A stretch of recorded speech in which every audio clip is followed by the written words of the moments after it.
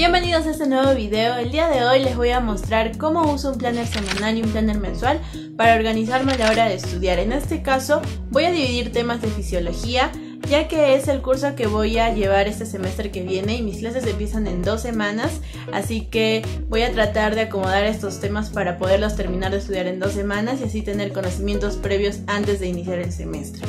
Espero les guste mucho el video, puedan suscribirse al canal y darle like.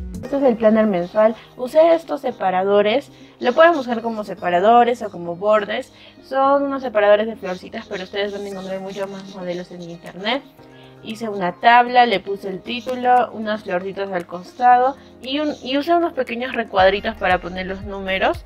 Aquí usé un poquito más de color en el planner semanal. Aquí es donde voy a poner los temas de estudio, cómo es que voy a dividir el temario de fisiología y también usé los mismos separadores del planner mensual para que tengan el mismo estilo. Eh, de hecho, estos dos planners son muy simples y no me tomo más de 5 minutos. Pasaré a imprimir los planners. Como pudieron ver, los planners los hice en Word, así que no necesité ningún otro programa especial y me tomó muy poco tiempo hacerlos. Si quieren un tutorial más extenso de cómo los hice o con más detalles, quizás puedo hacerlo en otro video, pero aquí no había mucho más que describir ya que eran los planners muy sencillos, muy simples. De hecho, los pueden encontrar también en internet, algunos modelos prediseñados si es que quieren ahorrarse el trabajo de hacerlo. Y pues ya los estoy imprimiendo en unas hojas para poder hacer ahora sí mi división. Como pueden ver son dos planners semanales que imprimí. Aquí me confundí, debí cambiarle, eh, uno debía decir semana 1 y el otro semana 2 porque voy a dividir en dos semanas. Pero no hay problema porque lo voy a arreglar eh, con un estilógrafo, le voy a poner 2 encima del 1 ya que me confundí. Pero las fechas están bien. La primera semana va a ser del 8 al 14 de marzo y la segunda va a ser del 15 al 21.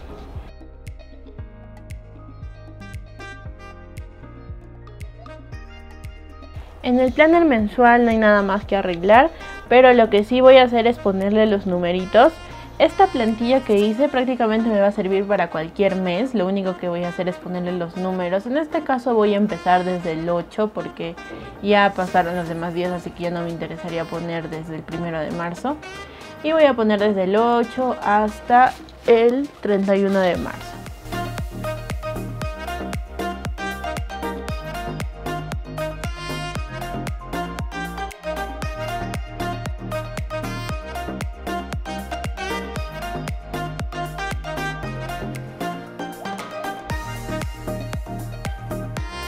Y listo, ya quedó. Ahora lo que voy a poner aquí más que nada van a ser como que eventos importantes o cosas que debo recordar. No necesariamente voy a escribir en cada cuadrito lo que voy a hacer cada día o lo que me corresponde, ya que eso lo voy a hacer en un planner diario o en el planner semanal de estudio. Voy a incluir los temas de estudio nada más.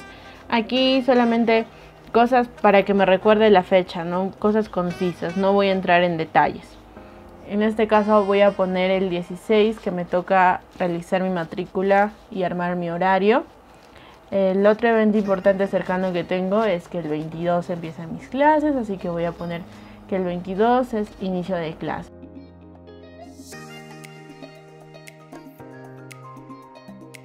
Ahora voy a pasar a escribir en el planner semanal.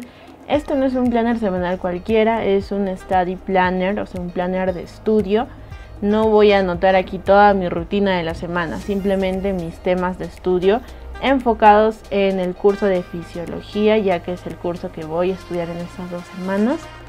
Aquí tengo un cuadrito para poner la unidad, el día, el tema y eh, dividí cuatro cuadritos extra para poner lectura, subrayado, resumen y repaso.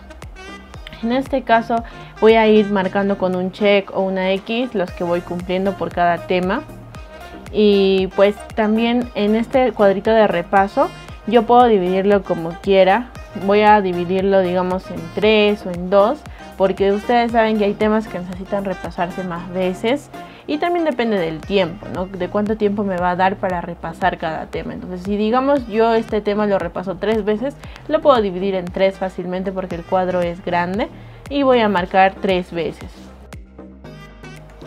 Entonces voy a poner el nombre del curso de este Study Planner En este caso estoy haciendo un study planner de un solo curso, pero tú puedes hacer tu study planner de varios cursos porque obviamente medicina vas a estudiar varios cursos a la vez, sino que como ahora estoy de vacaciones y me quedan estas dos semanas, yo lo que quiero es hacer el repaso específicamente de este curso. Ya más adelante puedo hacer un video donde ponga distintos cursos en un solo planner. Bueno, y ahora paso a poner los temas. Yo estoy poniendo los temas de acuerdo al sílabus de mi facultad, de mi universidad que ya lo tengo, entonces estoy tratando de dividir los temas para que encajen exactamente en 7 días, que es la primera semana. Y voy a distribuirlos como que en algunos días voy a poner dos temas para estudiar y en otros voy a poner un solo tema.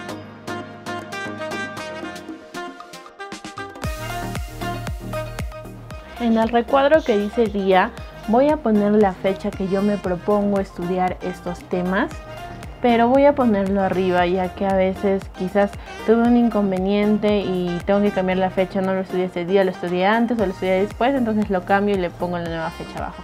Pero claro, tratando de que no sea así, tratando de que se cumpla lo que estoy escribiendo en un principio. Pero también debo dejar espacios para que mi planner sea un poco más flexible. En la parte que dice unidad, voy a poner la unidad del tema ya que el curso lo están dividiendo en cuatro unidades, entonces para saber de a qué unidad corresponde cada tema. Y como pueden ver también en cada tema lo estoy poniendo separado, ya que dentro de esos temas puede haber subtemas y a veces es importante anotar para saber qué estoy estudiando. Entonces dejo un espacio para poner eh, los subtemas que quizás voy a ir descubriendo al momento de estudiar.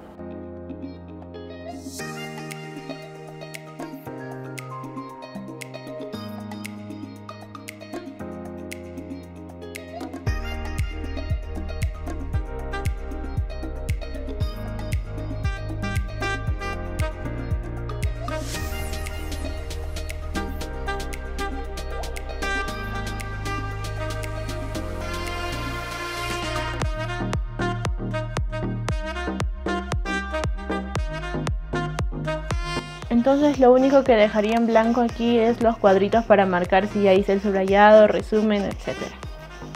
Ya terminé de escribir todo mi temario. Ahora voy a poner el planner mensual en mi pizarrita para que sea un lugar más visible.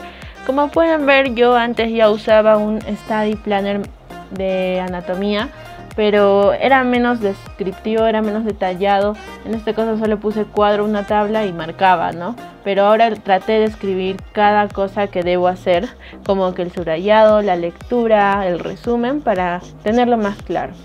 Y bueno, aquí ya está mi plan mensual. Voy a ir añadiendo poco a poco de acuerdo a los eventos importantes o cosas importantes que se presenten.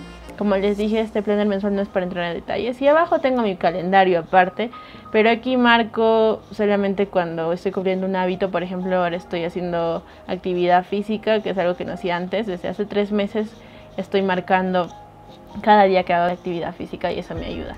Y eso no lo incluyo en mi planner mensual, ya lo incluyo en este calendario aparte que tengo. Y pues espero que les haya ayudado mucho este video y puedan seguir viendo más videos en mi canal.